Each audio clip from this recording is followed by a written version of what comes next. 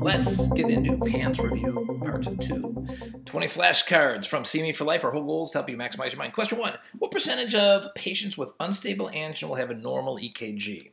So the question is, what percentage of patients with unstable angina will have a normal, completely normal EKG? Answer is 25%. 25%. Please remember, when I say acute coronary syndrome, I mean three different diseases. STEMI, non-STEMI, unstable angina. How do I diagnose a STEMI? EKG.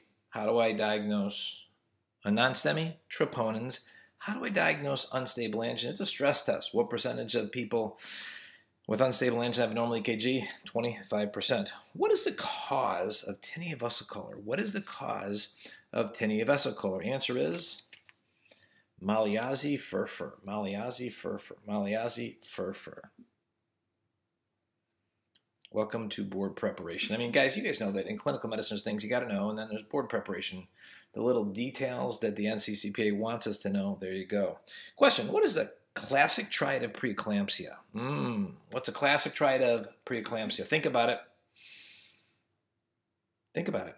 Truly. What do you know? What's, what's preeclampsia? What are the three things we're looking for? Do you know?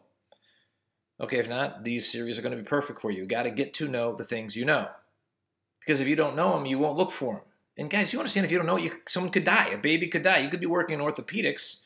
Patient comes in, they're 24 weeks pregnant because they hurt their knee. Could they have preeclampsia? Well, what's a triad? If you don't know it, you may get burned, but worstly, you may hurt a patient. Answer is hypertension, edema, and proteinuria. The million dollar thing here is proteinuria. Anybody over 20 weeks, you check a urine. If they're plus 3, plus 4 protein and they're over 20 weeks, call OB. Next question. When is administration, what, I'm sorry, what is administered to enhance fetal lung maturity if under 30 weeks gestation and the baby's going to be born? So if mom's going to deliver at 33 weeks, what do we have to give mom? Answer is steroids, betamethasone, to help the lungs mature to prevent hyaline membrane disease. Next, what are 80% of kidney stones made up of?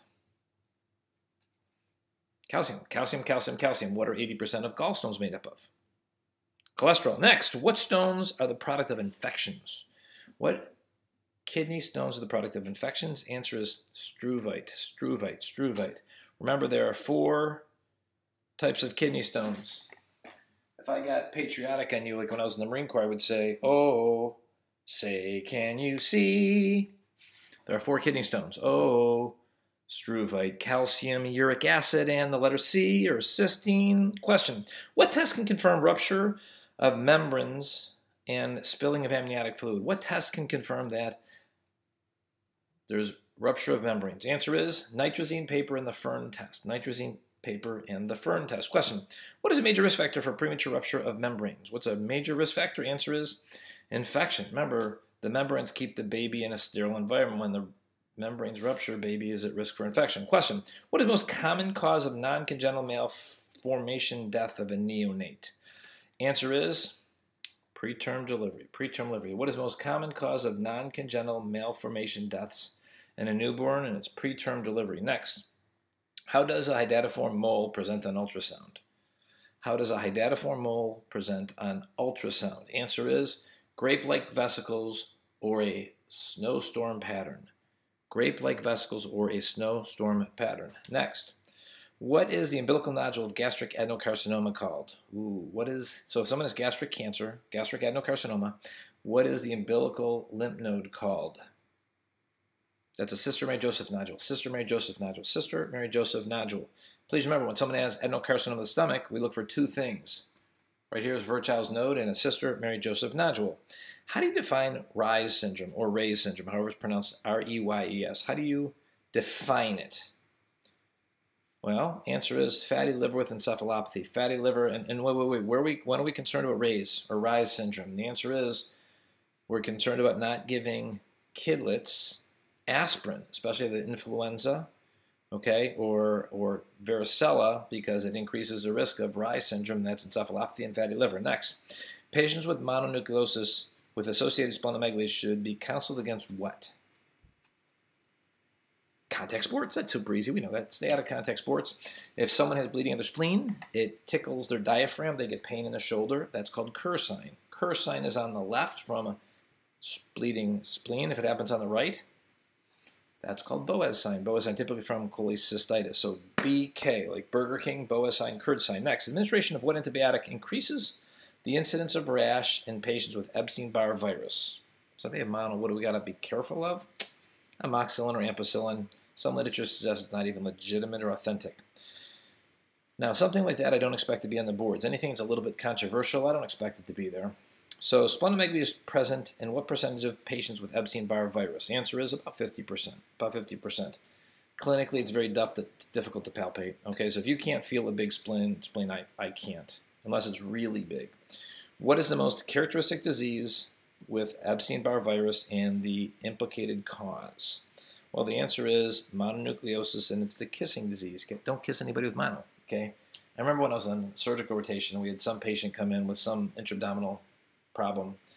And uh, we did the surgery, and I remember the surgeon after the fact came and said, "I remember the patient the other day." They said, "He said they had mono." And I'm like, "Good thing I didn't kiss him." And he just laughed. Okay, uh, what is the vaccine of choice for adults with to in the prevention of pertussis? So, what is a vaccine vaccine of choice for adults in the prevention of pertussis? Answer is the Tdap, of course, because we're giving them the acellular pertussis. Pertussis is Bordetella, Bordetella, Bordetella. It's very interesting because it's the only germ that I know. It's a bacteria that we treat with a macrolide, but it increases lymphocytes. Lymphocytes are normally increased by viruses. So only only disease that I know that uh, it's a bacteria responsive to back antibiotics. Yet we use we use antibiotics, but lymphocytes are high. Please remember, pertussis comes in three phases: catarrhal phase, the whooping phase, okay, or the paroxysmal phase, and then the convalescent phase. Now, if you think of the words, it's very confusing. Just define the word. What does catarrhal mean? It means a swelling of mucosal tissue. So you have a couple weeks of this cough, and then you have a couple weeks of this paroxysmal phase. What does paroxysmal mean? It comes and it goes. They have these whooping coughs, and then they get better. Next question. What is a classic triad of ectopic pregnancy? We talked about the classic triad of preeclampsia. Do you remember what that is? Do you remember what it is? Proteinuria, edema, and hypertension. What's a classic triad of ectopic pregnancy?